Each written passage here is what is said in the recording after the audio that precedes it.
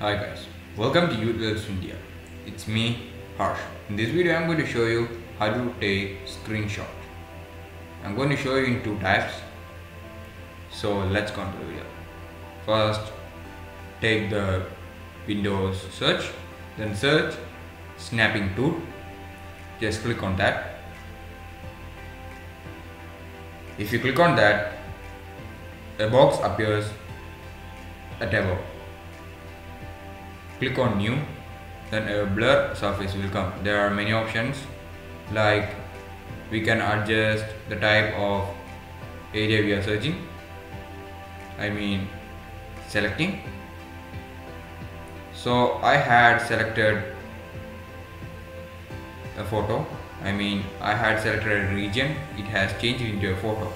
So we directly reach to a place where we can edit we can rub we can add new new writings or we can save it. The same options given before was also given here.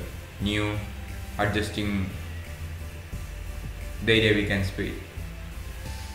So guys now I'm going to save this. I'm clicking on the save button when I click this button directly saves to capture. You can see save to capture. I click on save. It is saved on my PC so guys this is the one way to take screenshot. Snapping tool using snapping tool. Next I am going to show you how to take screenshot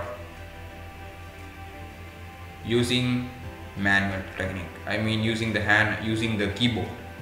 By using the keyboard you can take screenshot. Now I'm going to show this. So I'm going to show you a picture how to take the screenshot using the keyboard. So just see it. Just do what I have shown.